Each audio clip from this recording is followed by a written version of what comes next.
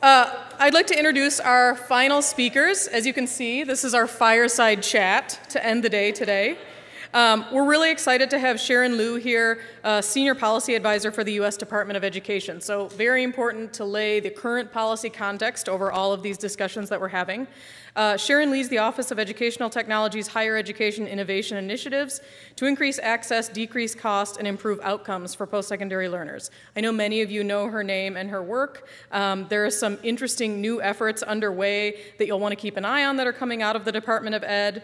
Um, Prior to her work joining OET, she oversaw TACT, which many of you are also familiar with, the big Trade Adjust, uh, Adjustment Assistance Community College and Career Training grants.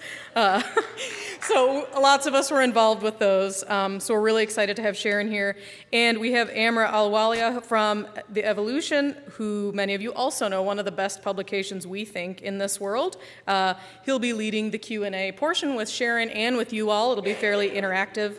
Uh, Amrit is the managing editor of The EvoLLLution, an online newspaper focused on non traditional higher education and transforming the post secondary marketplace. Uh, so if you're not a follower, I'd encourage you to follow uh, the publication.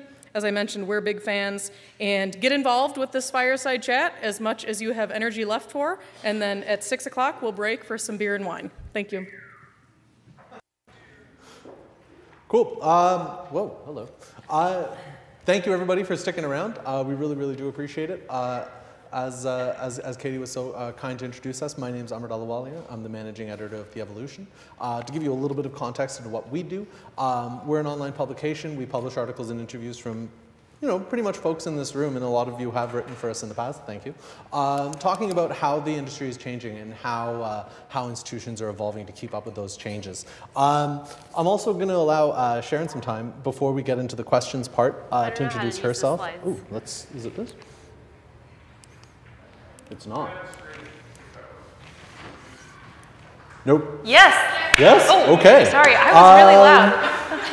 My man. cool. Uh, so Sharon's going to get into a little bit of the context into where she's coming from. Uh, from that point, we're going to uh, get into some questions. Um, and as, again, as Katie was so kind to, to, to suggest, uh, we're going to be posting the questions that we're talking about on the screen so that you guys have an opportunity to think about them yourselves. Um, and as we're progressing through this conversation, please throw your hand up. Uh, one of our kind colleagues over here will bring you a mic so that you can share your thoughts too, because this is a fireside chat. The fire is massive. We're all on the side of it.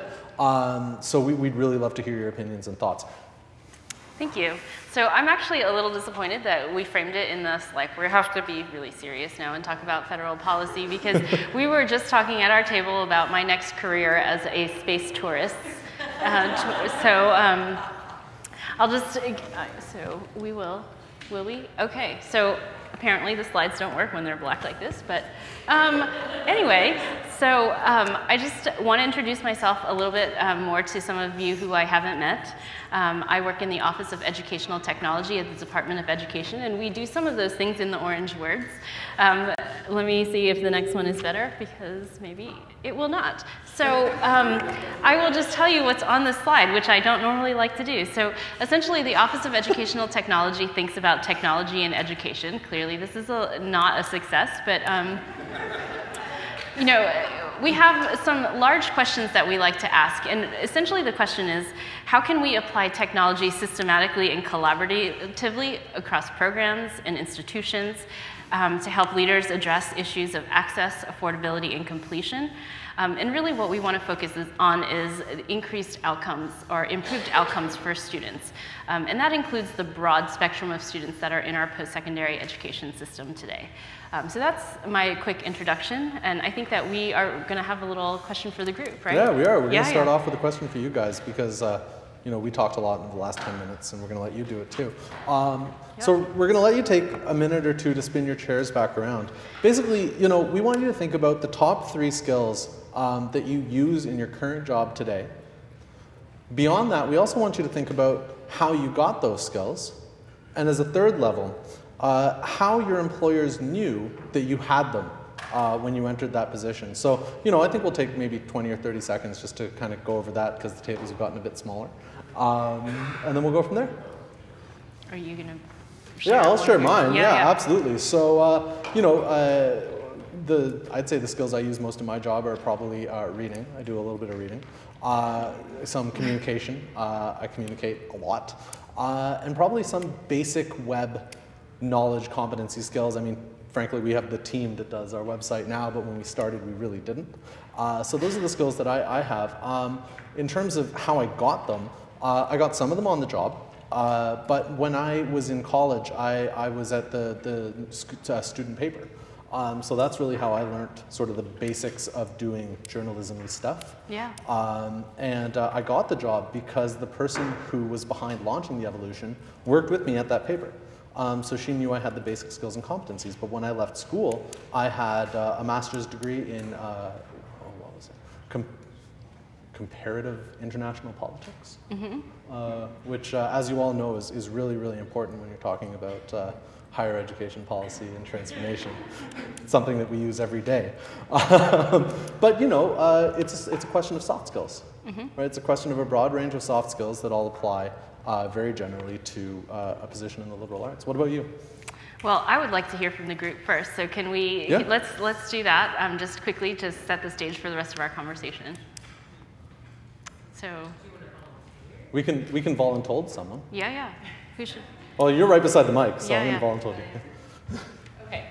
So do you want position and then skills, or do you want skills first? Uh, let's do position and skills. Okay, so I'm an associate dean of alternative learning, and the top skills I use are communication, uh, research, and what was the other one I treated earlier? Something along the lines of um, people, people skills, you know, like interpersonal, HRE type uh, influence, that kind of uh, soft power. emotional intelligence. That's the word I'm looking for. So those are the skills that I learned, and I learned them more on the job than in, in any of the many credentials that Jeff and I were discussing on Twitter earlier. So the last question we had in the series though was, how did your current employer knew you had the skills necessary for your job when you were applying for it? Well, you didn't hire me.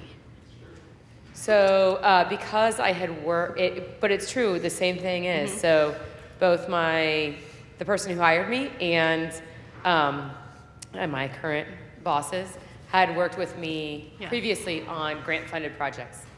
Okay. So it's one of those, it's one of those networking. Okay, so another things. point for the network. What about someone who didn't network into their current job, who applied for their current job? Okay, we have run right back there. Uh, my name is George Payne, and I'm an instructional designer for the New England College of Business. Um, so I would say that my top three skills I currently use on my job are digital literacy, digital resourcefulness, and a digital slash analog presentation translation okay. skill. Cool. Um, I'll get into it as quickly as possible. Digital literacy, I worked in a sort of graduate assistant position during my master's degree where I help to uh, leverage technology for people's presentations and projects, plain and simple. Um, digital resourcefulness is probably something that I taught myself over time. I'm not exactly a digital native, but I did spend a lot of time sort of like being the second pair of eyes for my parents' projects. They were graphic designers for a very long time, so like seeing that and then learning how to operate and live in that space over time um, and the last one, sort of like the presentation and translation skill, I think personally I probably had like a desperate feeling of being always misunderstood. And so like, how can I then translate this to you? Like, how can I uh, convey this to you in the best way possible, be it analog or digital? And then how did my employer know? Mm-hmm. Um, really hard to tell. Okay. but I, th- I think that um, I was given an opportunity to showcase where my understanding of digital literacy came from um, in the interview process. Okay. And they picked up on that. And then right after I was hired, we now actually facilitate a sort of creative test for all the candidates. And we're currently going through that right now, where we give them a, a clip of audio and a little bit of content, and then we give them a week and we say, show us what you got.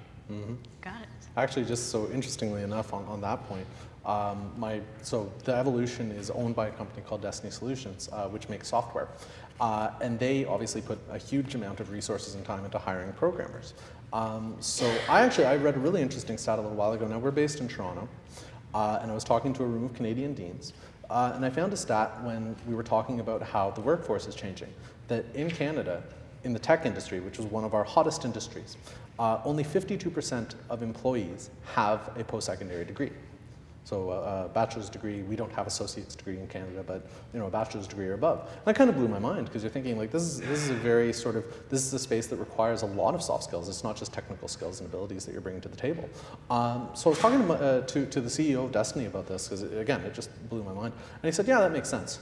I'm like, what do you mean you hire programmers every day? And he said, yeah, the first thing they do when they come into the office for an interview is they sit down and do a competency test. So they, they, do, they put them through a, a, series of tests to assess their abilities as programmers. And if they get through those tests with flying colors, great, now we'll talk to you. Right?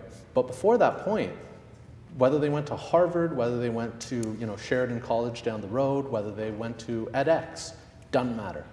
Right? Everything that comes after that, now you're starting to look at the soft skills. Now you're starting to look at some of the, the capacities and, and uh, to work within our team and to, and to fit into our culture. But that's all secondary to can you do the job. Um, so it's interesting that you bring that up, that you know, you're starting to implement a, a mechanism, a test uh, for folks coming into your office uh, as a way to assess, you know, are they going to be ready to do this work? And it really ties into some of the conversations we heard earlier today too. Because mm-hmm. I would be really curious, like, so I'm, like we'll wrap this up in just one second. So when when we asked that question, was anyone thinking, um, I have a skill right now that I told my employer when I was interviewing that I had um, based on something like um, a boot camp or hmm. um, taking an edX course. Because earlier today when we did that hand raising poll, a lot of people had had more than a PhD, more than a bachelor's degree, but had had an edX or some sort of credential that way. Not so much. What about certificates? So non-degree certificates, credentials, anything of that nature. Throw, throw them up. Throw them up. Don't be ashamed. So what's interesting, this is, this is actually really interesting. I'm going to throw one more stat at you, yeah, and yeah. then we'll get yep. into the, the, con, the meat of the presentation, but, uh, or the, the chat. So in the States right now, 31% of adults in the workforce have earned a non-degree credential, whether that's on top of, of uh, more traditional degree-based uh, credentials, uh, or rather uh, credit-based credentials, or whether that's as a standalone, 31%. Only 27% of adults have a credit-bearing degree alone. So this room is really not representative of the workforce. That's the. Uh,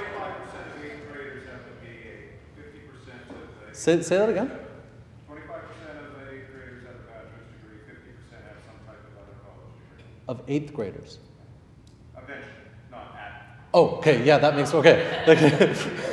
like, eh?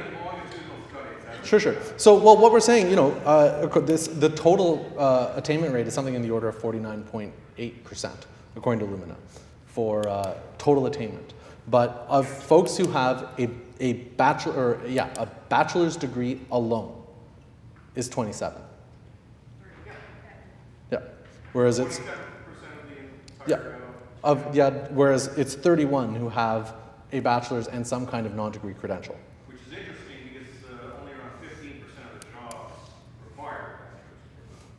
That's it. We're in a middle skills economy, or at least we're moving that way.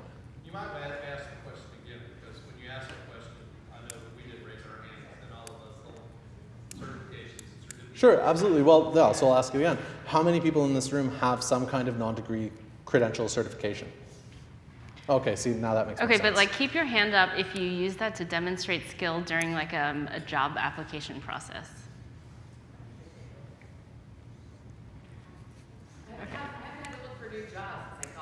Okay. So you're not good at interviewing. It's a good problem to have.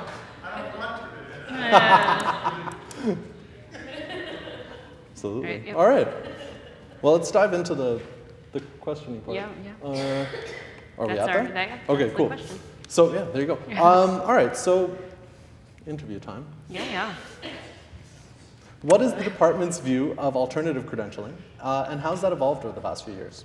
That's a really great question. Thank you. Um, So I think this is a this is actually a really great conversation for this particular conference. I think we've heard a lot of really interesting things today about credentials, right? And a lot of the credentials are not degrees that are not bachelor's degrees that are somewhat outside of the purview of the Department of Education, you would think, mm-hmm. right? So traditionally, the Department of Education, you know, not interfering with um, the freedom of institutions to do the things that they do, um, has really entered the education space through um, Title IV, right? So Pell Grants and or other financial aid to accredited institutions.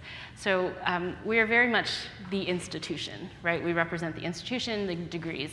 But I think one of the things that has been an interesting trend um, over time, and I think part of the other thing that the department does is collect lots of data. And so whenever NCES puts out a state of education, um, we take a, a, look at like what it is that um, post-secondary education looks like. And I think over the last several years, it's been um, increasingly obvious that post-secondary education does not occur just in um, a four-year institution. Um, and it's kind of interesting as well. Um, this is, you know, a side comment on like silos across institutions um, within your federal government. When I was at the Department of Labor, everyone was very focused on community colleges. Um, and there is a community college office um, at the Department of Education, so I don't want to, you know, sort of dismiss that. But whenever we say higher education, it seems lofty and that you should be on a campus. And I think over the last several years, um, we have started to see the conversation change away from post-secondary education being a single episode in a person's life that occurs at 18 on a in, you know, on a campus in one place um, towards a conversation where we start to think about like what does it mean to learn over a longer span of your life? And not just a bachelor's degree to a master's degree to a phd um, but thinking about like well what are the skills that i need for my work? And can i get it on my job? Or can i get it on edx? Or can i get it somewhere else? Mm-hmm. um, and then you know, sort of evolving into a conversation of, well, if that's the case, then how do we document that learning? How do we know that that's high quality learning? Um, and can we offer it to more people if they need it as um, a mechanism for social mobility? So I think that um, as we've started to become more aware, I think as a country, um, and you know certainly all of us that work in education, that we don't just serve one type of student, and that actually all of us, in some ways, are lifelong learners. That we need to have this conversation about how do we document and demonstrate this those skills that we have, and then how can we use them and capture them in a way that we can exchange them, right? So we're calling this a credit economy um, in this conference. So like how can what I know um, have market value in that sense? So um, there's been a lot of really interesting conversations, um, and I think that's how you've started to see the dialogue shift a little bit. Absolutely. It's kind of neat when you think about the fact that we're at a point where we're a little bit trying to convince 18 to 22 year olds, as, as Amy was referencing earlier, that uh, you know, the, the learning doesn't stop at 22. Mm-hmm. Um, and it's neat to see schools like uh, Georgia Tech just released their vision of, of what the future of higher education is going to mm-hmm. look like. We have Harvard participating in the, the 60 year curriculum yep. project. Um, there are so many neat initiatives happening at what we think of as very traditional institutions, looking at what the future of higher education is going to look like and how lifelong learning actually comes into that. I mean, it, it starts to think about, you know, you start thinking about, well, what are the multiple marketplaces of higher education? Um, and can they kind of coexist with one another? And in that context, you know, what elements of each marketplace start to get adopted by the others. I yep. mean, we think of non-traditional higher education as being fundamentally different than a traditional experience, but what do the two share? What can come over from the non-traditional experience color the traditional experience? And I think one other really important element of that conversation that we heard a number of different ways this afternoon is um, this issue of access to all of this kinds of education, right? So mm. one of the key roles of the department, and it's like actually etched on our wall, is this idea of um, expanding the opportunity um, for more students or for all students to access high quality education. And so when we start broadening that um, sort of the scope of what we mean by post-secondary education, um, traditional, non-traditional, institutional, non-institutional, we still have to ask our question, you know, is this actually helping more students who are traditionally underserved by our system to actually access the education they need so that they can grow into um, like economic stability, to prosper, and to live, um, I think, meaningful lives. Absolutely. Actually, one, one thing that really fascinates me when we talk about this notion of access points, um, there's this great concept that uh, came out of Oregon State, or well, he may not have come up with it, but it's a fellow named Dave King, who's recently okay. retired from Oregon State, and he had this, this idea of the spectrum of access as this vision of you know, there being multiple access points to higher education where students are looking for less and less intensive you know, approaches to learning than just credit-based degree directed programming. Um, whether that goes to modules or workshops or customized professional education. Um, but the majority of content that an institution develops and provides, where the expertise lives, is gated into credit bearing programs. So the question he had, uh, and it was from the perspective of a continuing ed leader, is how do we create more access points so that folks who may not have the experience, or rather the, the, the desire or the resources or the, the care to jump into a full-fledged degree program how do they have the capacity to, to uh, access that knowledge? Please. I wanted to unpack that a little bit more. So right now there's a lie that happens with thousands, tens of thousands, hundreds of thousands of students when they go to apply at a college or any post-secondary institution, they say, are you planning on doing a degree? And we, by nudging and this, well, of course I'm planning on a degree, because I need Title IV funding. And I don't get it another way. So, in that same way, the package that's being offered is still founded in two things one in seat time, and another one in a degree. And those are the two things that you can buy. Which one do you want? This degree, this degree. Uh, do you want it in blue or pink? Right. Or, or green or yellow? It's still the same thing access also in our system also has to do with funding. When will we be able to not have to buy the entire package? When will students have access to be able to do something that is not 18 hours, mm-hmm. that may be two hours, and that may be all I can do because I'm first generation. I did not have that knowledge about this, but I could try something. But it would make all the difference for me mm-hmm. if so, I had some funding. So that's the question: is when, when will we break up or unbundle the package of how that I can also have access to funding? So um, I'll answer your question in a number of different ways, and hopefully one of the combination, some of the combination will be satisfying. Um, so the, on, on the first level, like I would say, um, it's very difficult to boil the ocean, as we all know, right? So from a policy perspective, going all of the sudden from sort of the binary state of four-year to zero, right? Like is difficult. But there are, are, variations in the middle, right? And so I think one really promising trend that community colleges have been implementing for years now is this idea of stackable credentials, right? So um, maybe you um, want a credential that's a certificate in something. Um, and then later, after you've worked for a little while, you want a promotion or a different kind of job, can you complete the associate's degree? And I think there are dozens of examples, hundreds of examples of great programs that do that. Um, similarly, like from the two to four year, like that's also a jump, right? And so what you're seeing more and more is programs where two and four year colleges have agreements where you know you can complete your associate's degree and transfer into a four year degree. So I think like from like a zero to four year um, perspective, I don't think it's an all or nothing. I think there are um, there's a very promising move to more stackability, and I think that that will lend to some access points.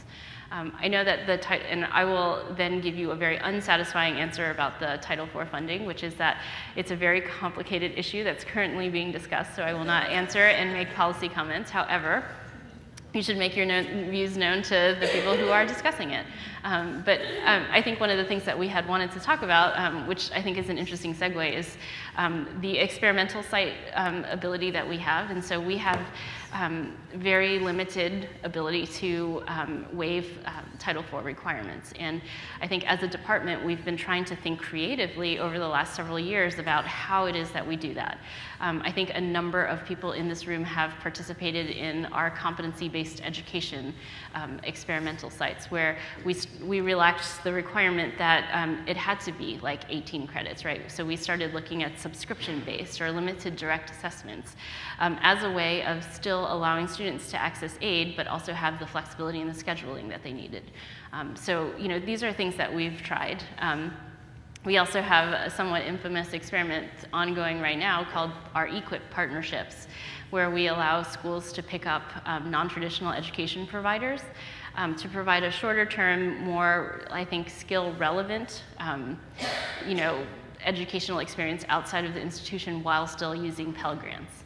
Um, I think that you know, we are still collecting data on that, but I think this is, this is the way that we can ask the question. How can we do th the two things that the department is tasked with, right? So increasing access to, you know, to education for low income and traditionally underserved students, while at the same time protecting them from low quality education and protecting you as taxpayers from having to pay their tuition on um, a, an education that will only lead them to more debt and not to a, a job. So I, don't know if some combination of that is satisfying to you, but well, that's that will. It was actually a fascinating segue yeah. because that was the next thing we were going to be talking about. Um, just out of curiosity, before we do dive into it, did anyone in this room participate in the Equip partnership program? Awesome. Uh, yeah. That's so handy. I know. Uh, well, cool. We, I mean, we should bring them. Yeah, I was going to say, uh, you know, while while you guys, or when you very briefly had your hands up, I mean, what were some of the, the what were some of the positive takeaways that you got from that experience of participating in the Equip? Like, what, what were the lessons that you learned from, from those partnerships that you'd want to carry forward? I mean, and let me let me sort of refine that a little because I think the topic on hand is like, is there a way to provide an, another way? Is there another way for a student to demonstrate things that they know um, without having to, um, I guess, take the whole four-year package? Um, and how can we ensure that that is a quality educational experience? Did, did, does anyone who participated in the uh, equip want to? Oh yeah, here we are. Okay, and, and then, then we'll go to Deb. After that.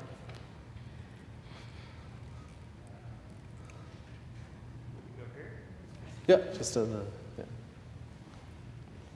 Hi, I'm Deb Seymour. I was originally with the American Council on Education and also with Entangled Solutions, and um, both of these were quality assurance entities within the EQUIP framework. So I had the uh, experience of working within the EQUIP framework for two different organizations that were acting as quality assurance entities. Um, I, I, would say my learnings, and I um, was not in either situation for follow through for launch of the programs that were being quality assured, but I did get two different perspectives. Um, and I would say one of the main impacts that I observed about EQUIP was that it really forced both institutions of higher ed and quality assurance entities to think about quality assurance in a different way.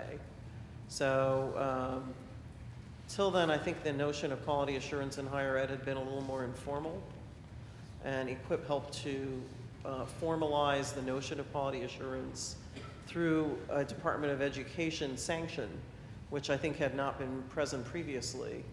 So there was this issue of um, giving Pell Grant money to students who were taking courses that were not being offered through a higher ed, ed institution, and that's really the experimental component that was on the table. But I think from the quality assurance point of view, and I know there are others such as Deb Adair who's sitting at the same table as I am, who was involved in the quality assurance of this um, I think from the quality assurance point of view, at least my observation was that the formalization of quality assurance around alternative credentialing and alternative pathways and alternative credit um, led to a lot of really hard thinking about what quality assurance should look like in an alternative credit environment that really had not been there before.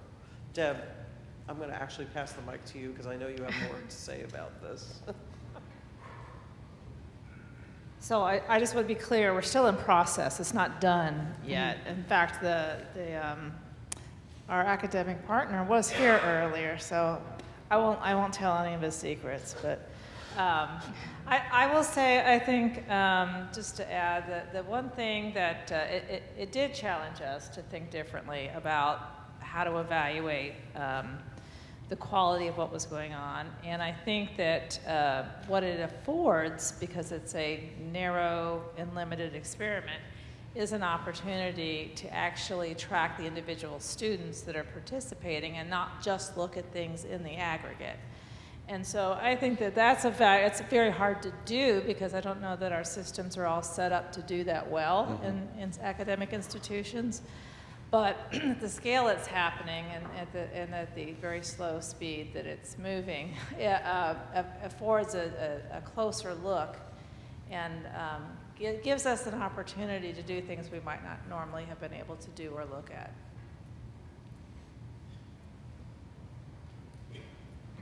Uh, so I, I work for a StraighterLine, and we were one of the teams that partnered with uh, CHEA and Dallas County Community College District. And uh, we were approved a couple months ago, and we won't be launching until August. So we don't have data, obviously, of the program as it runs. But um, yeah, there was a lot of things to think through. We went through, uh, you know, going through the approval process. Well, first applying for the application to get chosen as one of the teams uh, then resubmitting uh, to have a more detailed description of how the program would be run, uh, then getting SACS approval and uh, going through that process, and then uh, through two, uh, really three rounds of subsequent follow-up questions from the department.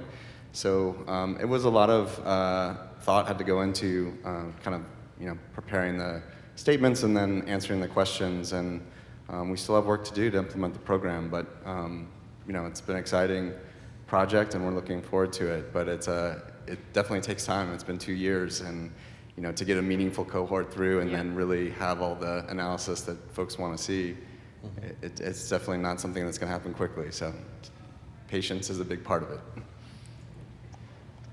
Um, should we proceed, or because okay, so yeah, um, well, I was just going to say like maybe like we can just go on to the yeah, to sure. the next because yeah, I want to be cognizant of time. Oh yeah, we are yeah. getting there. Don't want to keep you from your wine. Yeah.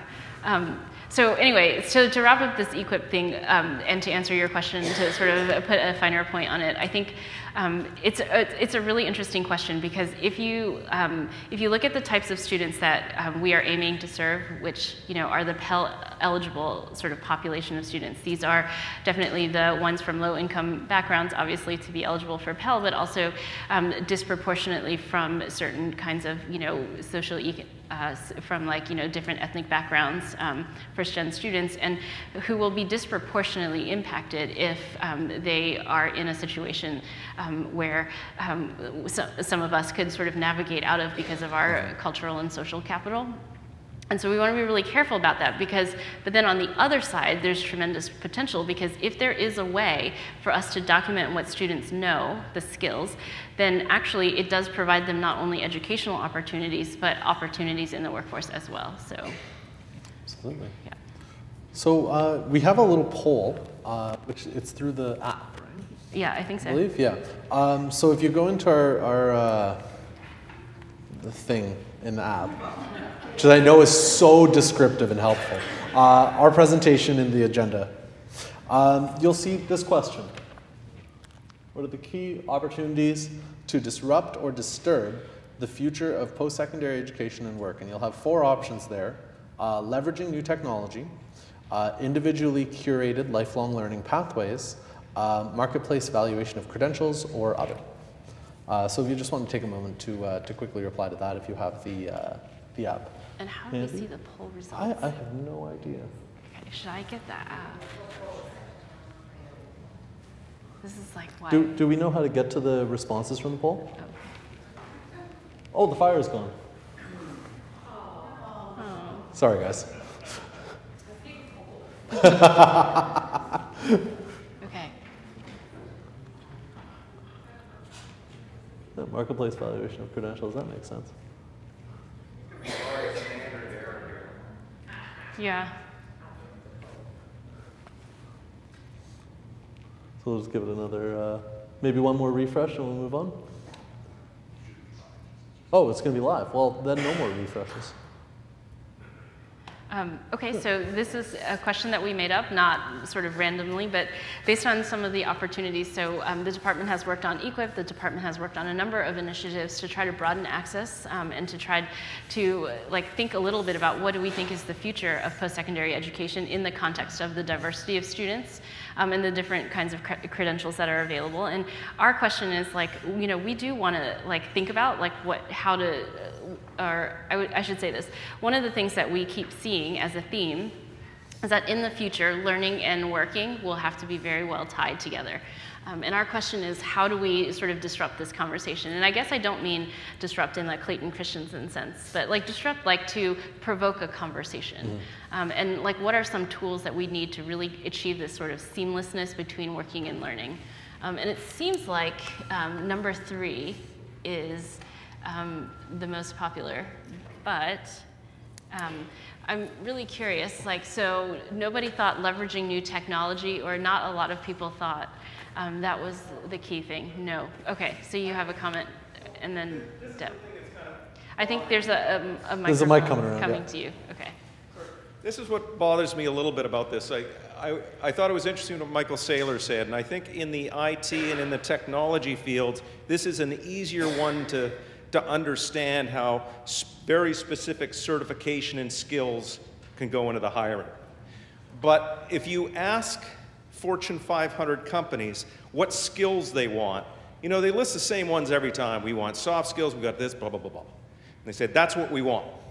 But they're the worst offenders of this issue right here because they filter every job by a bachelor's degree. Mm-hmm. If you go on to these job things, if you go on inside higher ed or, or all these other things, what you find is you put in all the information, and it doesn't ask you what skills you have. It asks you what your level of education is.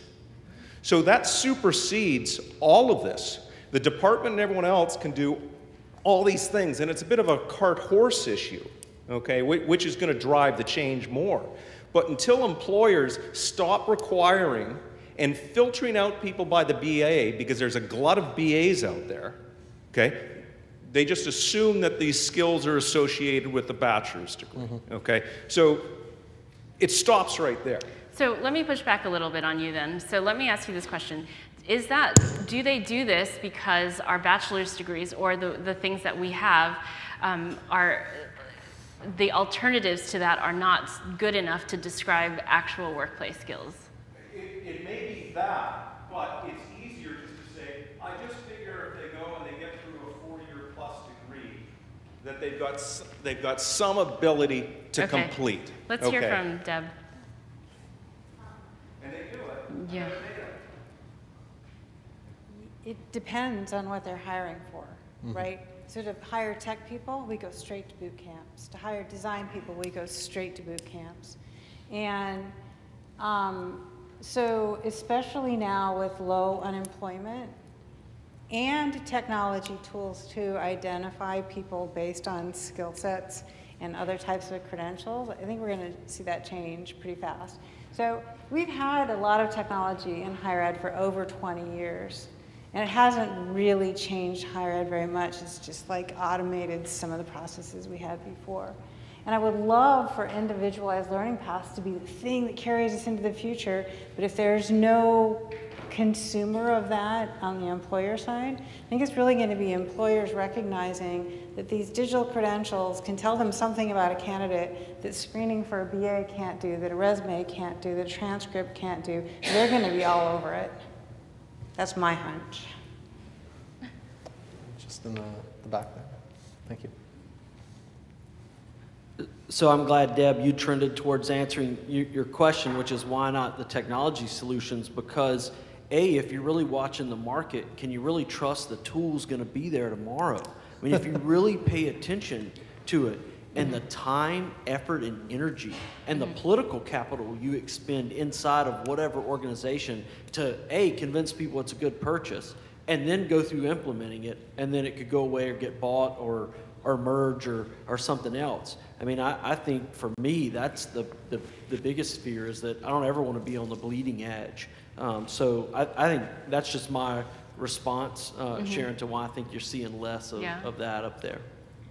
So, oh, go ahead. Well, I, I think that because we, we are getting into the, the business end, and again, we don't want to keep you from, from the reception, but um, I do want to ask, I guess, the room and certainly Sharon, um, is if marketplace valuation of credentials is the most important thing we can do to change the conversation around alternative credentialing, everybody in this room plays a slightly different role in this ecosystem, in this higher education ecosystem that we're all in, whether it's from the institutional side, whether it's from the nonprofit, whether it's from the for-profit, whether it's from the government side. So what are the roles that we can all play in driving that conversation forward to improve the marketplace value of these, these sort of alternative, more granular, more descriptive credentials that I think everybody in this room accepts is, is a better fundamental tool to allow students to get the jobs that they should, they should be earning and to get employers the folks in the door that they should be hiring. So I guess I'm going to turn it over to you because you're forced to answer the question. I am forced to answer the question, and I'm the government, so I know all of the answers. Yeah, that's how Yeah, it works. yeah. Yeah, yeah, yeah.